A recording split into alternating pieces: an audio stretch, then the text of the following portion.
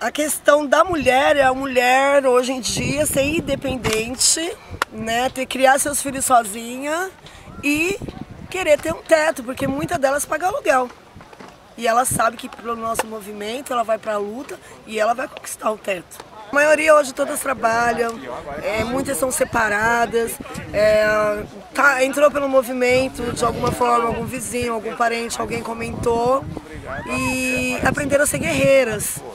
Ah, aprendeu que o movimento do MTST ele não é só um movimento, a gente não foca só em no sem teto, é educação, é cultura, é igualdade uhum. e igualdade. E o maior. É, como que eu vou te dizer?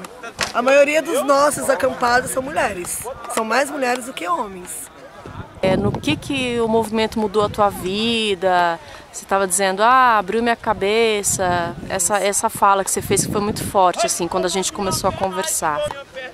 Então, o movimento, é, na verdade, é meu marido que falou, ah, eu invadi ali, até então a gente não conhecia o, o MTST, não sabia que existia. Ah, é, invadi ali, fiz um barraco e falei, ah, vamos lá, não vou, imagina, de forma alguma, vou fazer o que lá? Né? Invadir, pensa que é assim, entrar no terreno dos outros, tomar de conta. E aí passou uma semana, duas semanas, eu resolvi conhecer e ir lá ver o barraco que meu marido tinha feito. Oito meses atrás.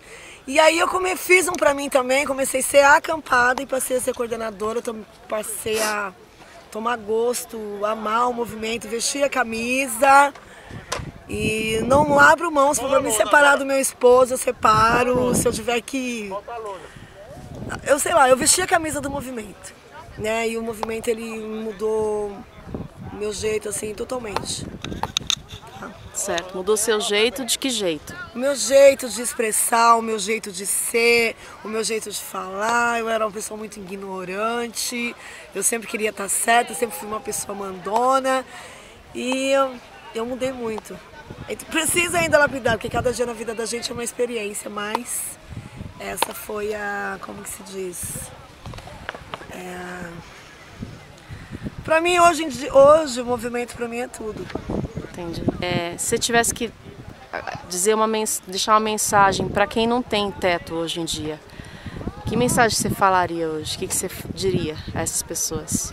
Vem pra luta. Vem pra luta que hum, é, onde tem luta tem conquista. Se você não lutar, você não vai conquistar. Se você ocupar, você vai ter onde morar.